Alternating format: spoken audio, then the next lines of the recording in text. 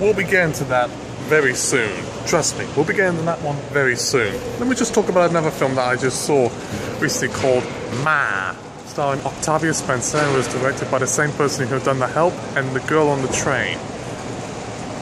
I actually don't really know what to say about this one here. I saw it mainly because it looked quite funny from the marketing and advertising. It was sort of out there. I was like laughing unintentionally there for a second, so that's why I saw it because it just looked utterly hilarious. Even if the film itself uh, didn't quite fulfill the promises that I was thinking in my head it was gonna be, in many ways, the best way to explain this movie is like Misery. It's um, it's very similar to that film or Serial Mom in terms of its weird, darkly comic elements and sort of, uh, you know, I'm gonna help you out. I'm your best friend, and I'm gonna kill you. Sort of premise about it, with the sort of benevolent turned malevolent type of uh, female figure in the narrative. So that's what has going for it. But I would say, you know, Misery was a very classic film. Ma's very much trying to be that, and it succeeds in some ways up until the very ending, which you're like left wondering.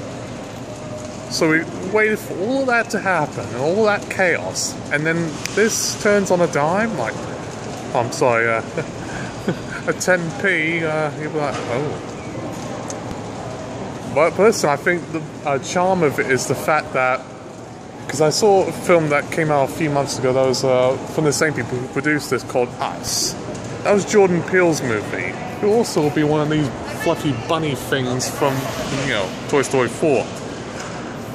He done that movie, and you know both films are quite similar in regards that they're from Blumhouse and also involve uh, black lead characters.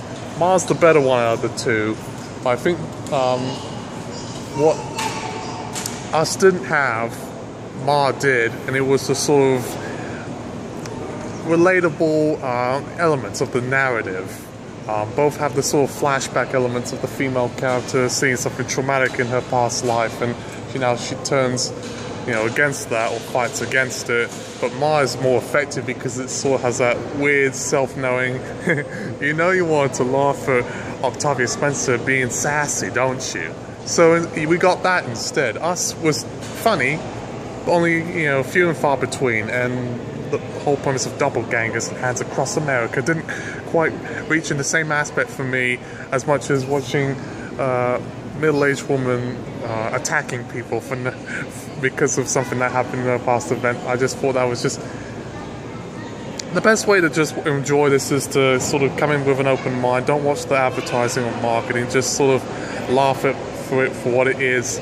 They said, you know, the reviews said that this movie is quite cat, and it definitely feels that aspect about it. In the same way, you could say about that Mommy Dearest film that was about Joan Crawford.